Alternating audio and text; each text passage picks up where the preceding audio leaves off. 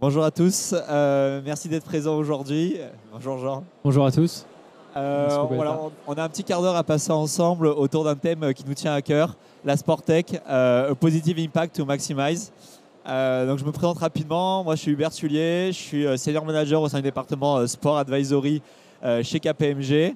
Euh, on travaille principalement sur des sujets de transactions dans le milieu du sport et de, euh, d'accompagnement stratégique euh, de clubs, de fédérations, euh, d'entreprises du sport. Et euh, ancien du ministère des Sports, je suis particulièrement euh, euh, attentif aux externalités positives du sport. Donc très content de pouvoir euh, aborder ce sujet avec vous euh, aujourd'hui en compagnie euh, de Jean. Bah, bonjour à tous, je suis ravi d'être là. Euh, merci beaucoup d'être venus euh, pour, nous entendre parler aujourd'hui. Moi, je travaille comme analyste euh, chez Racine Carré, donc il y a un fonds d'impact, euh, un fonds d'impact existe depuis euh, un peu plus d'un an maintenant à Paris et qui est géré par deux acteurs qui sont Serena et Racine, dont je parlerai peut-être un peu plus après. Justement, l'idée, c'était de faire un peu une introduction pour rappeler certains euh, faits sur le secteur du sport et euh, sur notamment son impact économique. Euh, le secteur du sport, c'est un secteur qui est en forte croissance, plus de 7% de croissance par an au niveau, au niveau mondial. C'est un secteur qui est porté par l'émergence d'une classe moyenne dans de nombreux pays, avec des consommations de loisirs de plus en plus importantes. Euh, c'est un secteur également qui en France pèse quasiment 3 2,6% du PIB, euh, 130 000 entreprises. C'est un secteur qui est euh, également à plus de 150 startups qui euh, lèvent des fonds de manière assez régulière. Et c'est un secteur qui est particulièrement sensible à l'innovation et à la technologie parce que dès qu'on pense à sport, on pense forcément à la performance, on pense forcément à l'analyse de la donnée, euh, on pense également à l'expérience de- du fan dans un stade par exemple. Et donc c'est un secteur qui est extrêmement euh, euh, propice au développement, au développement de la tech. Euh, voilà un peu pour l'introduction. Euh, je voulais un peu savoir ton, euh, ta connaissance un peu du sujet, que tu puisses présenter un petit peu le fond également, euh, Racine Carré, et un peu ton, analyse de l'impact du sport aujourd'hui. Ouais, bien sûr. Mais le sport, c'est euh, évidemment un sujet, euh, un sujet d'impact. Pourquoi en fait? Parce que déjà aujourd'hui en France, euh, la sédentarité, c'est la quatrième cause de décès prématuré euh, chez la, la plupart des Français. Et 95% des Français aujourd'hui font pas assez de sport. Donc quand on décide de faire de l'impact, c'est de financer des entreprises, c'est évidemment un passage obligé. Et c'était une des, euh, thèses euh, à, l'origine, on va dire, de la, création de Racine Carré, donc qui est le, le fonds euh, pour lequel je travaille en tant qu'analyste. Et du coup, au sein de Racine Carré, l'idée c'est de, trouver des, modèles d'entreprise qui soient un peu neufs, qui puissent aligner, on va dire, la performance économique d'une part et l'impact, avec des KPIs d'impact qui, puissent être réalisés. Un exemple tout bête, par exemple, en dehors de l'exemple du, du sport, ça peut être un blablacar, qui le plus de covoiturage il met sur la route, le moins de voitures seules, on se retrouve à rouler seul. Donc en gros, c'est un peu ça la, la thèse fondamentale. Et pour nous, le sport, euh, c'est quelque chose qu'on a essayé de poursuivre dès le départ avec une thèse qui s'articule autour du sport, de la santé, de l'éducation et des modes de vie durables. Euh, voilà. Ouais. C'est vrai que c'est un secteur qui est extrêmement intéressant. Il y a depuis 2019 un collectif Sportec qui s'est mis en place, qui regroupe un grand nombre de startups aujourd'hui. Je pense à TrainMe, je pense à Gymlib que vous connaissez forcément, qui ont un impact extrêmement important euh, aujourd'hui sur la pratique des Français. On a souvent considéré que le sport devait était un peu géré par le ministère des Sports uniquement en termes de politique publique, mais on a trop souvent oublié justement l'impact de ces startups et de la Sportec de manière générale sur la pratique. Et je pense qu'aujourd'hui, il est indispensable pour euh, tous les acteurs publics, qu'ils soient des acteurs euh, territoriaux ou nationaux, d'intégrer justement cette dimension technologique dans leur, euh, dans leur stratégie, dans leur stratégie, euh, dans leur stratégie politique. Euh, tu as évoqué effectivement de manière très importante les impacts positifs du sport. C'est vrai que le sport, c'est un peu le reflet de la société. On a quand même des sujets qui nous touchent tous. Tu as évoqué la sédentarité, la lutte contre l'obésité. Il y a beaucoup d'entreprises aujourd'hui. Le sport en entreprise, c'est quand même un enjeu extrêmement important quand on voit l'impact du sport sur la productivité, la, productivité des Français. Tout ça pour dire que moi, j'aurais bien voulu que tu nous donnes un exemple de professionnel, finalement, d'un exemple d'un investissement que vous avez pu réaliser et qui a un véritable impact aujourd'hui sur la pratique sportive et sur son développement. Bien sûr.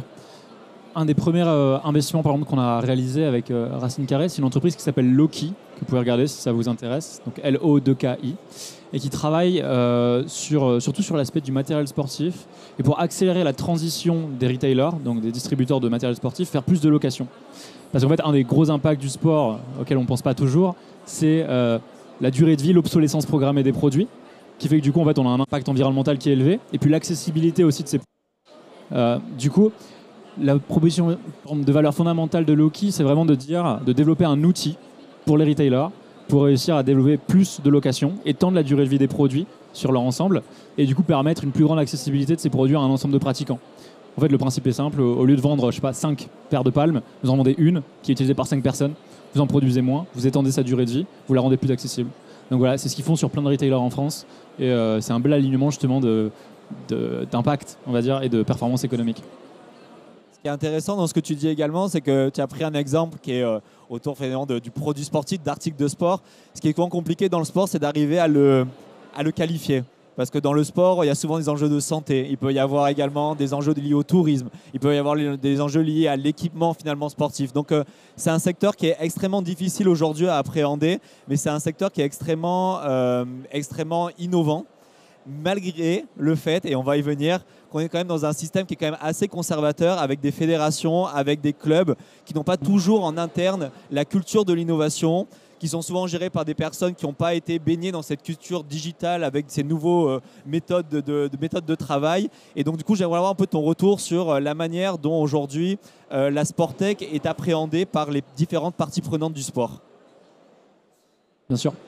Alors déjà, il faut comprendre que le secteur du sport, surtout sur l'impact, c'est un secteur qui est éminemment associatif. par exemple, dans les entreprises du sport, c'est, je crois, un chiffre que j'avais vu passer, 360 euh, 000 associations pour 115 000 entreprises. Donc c'est avant tout ce genre d'acteurs. C'est des acteurs qui, par essence, n'ont pas forcément la même capacité, les mêmes marges, la, même habilité, on va dire, à aller chercher euh, des produits technologiques que, que d'autres. Donc par essence, il y a moins de budget disponible. Donc c'est plus compliqué déjà d'aller sur ce genre de solution.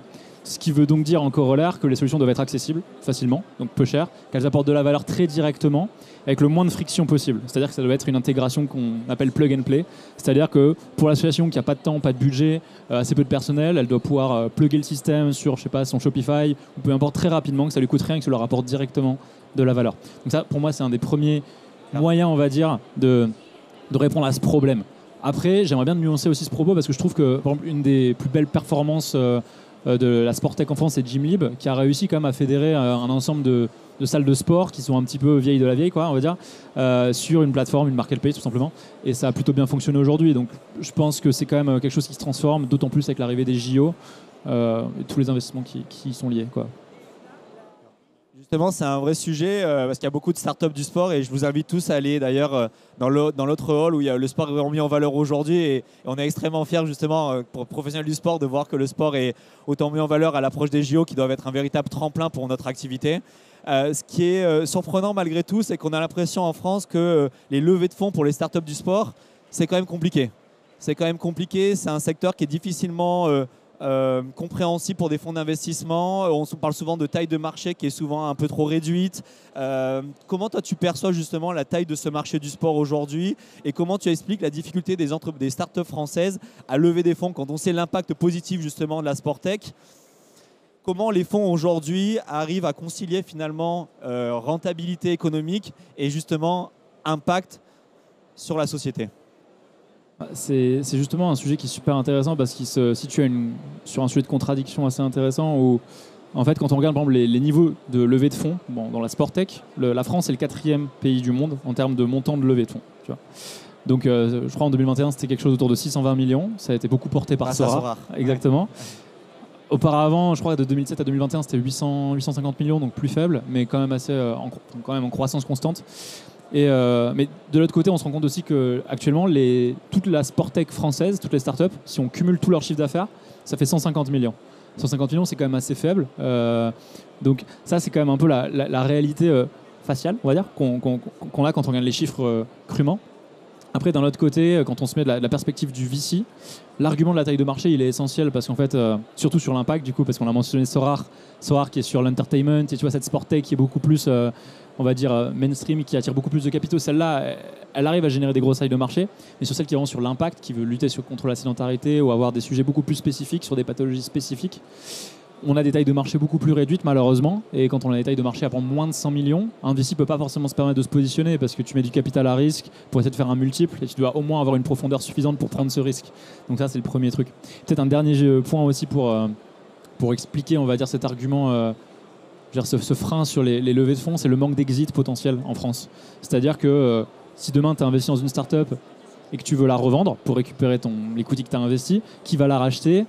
Des décathlons peut-être, mais Decathlon ils ont pas une... dit Decathlon à chaque fois. Exactement, mais Decathlon ils ont pas une stratégie d'acquisition très très agressive malheureusement. Et pour tout, tu vois, les 150 sport. euh, c'est soit Decathlon, soit Sport, c'est dans Ouais, exactement, ou, Sport 2000. Donc en fait, je, je veux dire, il y a assez peu de personnes qui peuvent se permettre de racheter, donc ce qui explique aussi un frein du côté des VCs à, financer en fait. Donc c'est un truc un peu écosystémique, tu vois, euh, qu'il faut réussir à, et tu as le sentiment, euh, on a travaillé sur un dossier ensemble, est-ce que tu as le sentiment aujourd'hui que les startups euh, qui travaillent dans le secteur du sport ont pris vraiment connaissance enfin, de l'impact qu'elles peuvent avoir aujourd'hui sur la pratique sportive? On a travaillé ensemble sur un, sur un dossier et forcément un impact positif sur la pratique, mais ce n'était pas forcément intégré aujourd'hui euh, dans, leur, dans leur hypothèse de départ. Est-ce que ça t'a surpris aujourd'hui quand on a travaillé sur ce dossier-là? Est-ce que tu as reconnu, est-ce que c'était la même chose dans les différents dossiers que tu as pu travailler? Ouais, euh, alors l'intégration des, KPIs d'impact, c'est vraiment quelque chose sur lequel nous on essaie de militer, c'est-à-dire euh, qu'il y a un suivi, on va dire, actif d'indicateurs qu'on dirait matériels, c'est-à-dire, euh, par exemple, dans, le cas du, sujet qu'on regardait, sans, mentionner le nom, c'était une marketplace qui permet aux gens d'accéder à des courses, par exemple, pour courir dire euh, grâce à ma marketplace j'ai vendu autant de places pour des courses, c'est un indicateur. Mais un indicateur d'impact, ce serait plutôt de dire combien de personnes grâce à ma marketplace sont devenues coureurs, tu vois. Et du coup, sont sortis de la sédentarité. Et ça, c'est beaucoup plus dur à mesurer. Et ça, aujourd'hui, peu de gens le mesurent. Et ça, nous, c'est ce qu'on essaie de faire avec les boîtes du portefeuille. Euh, intéressant. Et il y avait un dernier point, et je pense qu'on aura fait un peu le tour de la question dans cette euh, keynote, mais j'aurais bien voulu avoir ton avis sur, on parle beaucoup d'intelligence artificielle aujourd'hui, euh, c'est un sujet qui est extrêmement majeur. On sait que l'intelligence artificielle va forcément avoir un impact fort sur euh, l'analyse des données, sur euh, la performance des sportifs, sur la, prévention des différentes blessures qu'ils pourraient avoir, même sur l'expérience des fans, la relation qu'on va avoir un club avec son, avec, avec son fan partout dans le monde. Aujourd'hui, est-ce que c'est un sujet que vous avez déjà regardé et comment tu juges l'impact de l'intelligence artificielle finalement sur, sur la société d'un point de vue évidemment de l'angle du sport? Alors, dans, le sport, euh, nous, les sujets IA relatifs au sport sont très liés à la santé, en fait. On va dire au suivi des pratiques sportives. C'est-à-dire quand tu cours, est-ce que tu cours de la bonne manière Avoir euh, de la donnée qui remonte et de l'optimisation aussi, potentiellement. De, ah oui, tu es allé courir avec ta montre connectée, voilà, je sais pas, ton pas, voilà comment tu pourrais l'améliorer, voilà les exercices. Qui sont fondés, on va dire, sur des algorithmes. Euh, on va dire, qui reposent sur de l'intelligence artificielle. Nous, ça, c'est vraiment ça qu'on regarde. Après, clairement, il y a des sujets d'optimisation et de personnalisation grâce à l'IA au-delà de l'impact dans la Sportec. Euh, qui peuvent aller justement, comme tu dis, sur la personnalisation euh, du parcours du fan. On peut penser, là on sort un peu de l'IA, mais genre j'allais penser à tout ce qui était autour du NFT, de la personnalisation, mais c'est quand même de la personnalisation, donc tu peux utiliser des IA pour générer des NFT personnalisés par rapport aux fans. Il y, a un ensemble de technologies comme ça qui se développent et qui ont par essence, qui sont très scalables, parce qu'une fois que tu as développé le logiciel, le coût marginal pour en vendre un million par rapport à 100, c'est le même. Donc en fait, tu peux créer des très grosses boîtes facilement là-dessus. Euh, donc oui, potentiellement, c'est un gros, je pense, une grosse niche de, croissance pour cette industrie euh, dans, les années à venir. Voilà, c'était à peu près les messages qu'on voulait vous faire passer aujourd'hui. Euh, il y a un contexte extrêmement favorable, les Jeux Olympiques, il y a la Coupe du Monde de rugby aussi dans, quelques mois en France, il y a une culture sportive en France qui est quand même en train de se développer. Il y a un ministère des Sports qui prend de plus en plus de place avec des budgets qui augmentent, mais c'est vrai qu'il y a une politique qui est vraiment orientée fédération. Donc vraiment le, message, nous, euh, pour euh, maximiser l'impact, c'est vraiment justement dans les politiques publiques de pouvoir prendre en compte ben, justement bah, toutes ces startups qu'on vient d'évoquer, qui ont, des stratégies, qui ont des impacts sur la pratique, qui ont des impacts sur la santé, qui ont des impacts sur la productivité des salariés. Et tout ça, ça fait que bah, on est très fiers de travailler dans cette industrie. Voilà. Merci beaucoup.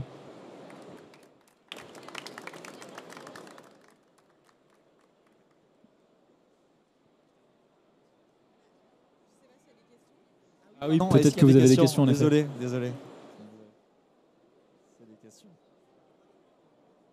Pas de questions. J'ai fait peur à tout le monde du coup. Il n'y a pas de questions? Comment est-ce qu'on peut euh, éduquer les startups justement euh, du sport ou de la sportech à mesurer euh, davantage les KPI liés à l'impact environnemental? Est-ce que ça doit passer justement par des investisseurs, par des fonds?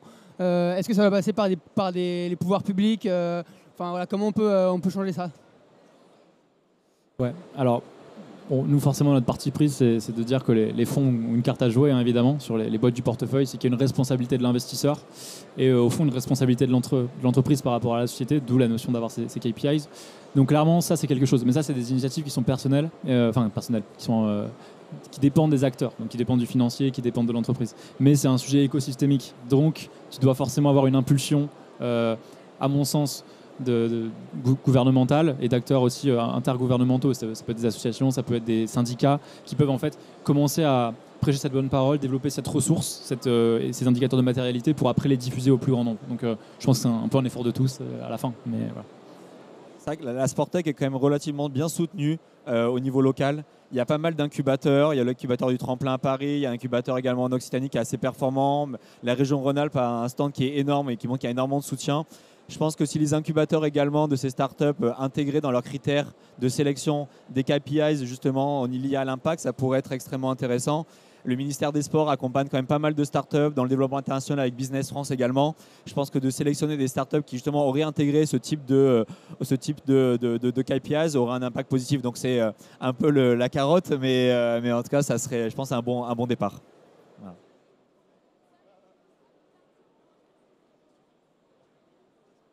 Merci. J'avais peut-être, on vous avez évoqué du coup euh, tous les deux l'idée de, enfin le problème de l'exit dans le milieu du, de la qui fait que ça freine notamment les investisseurs.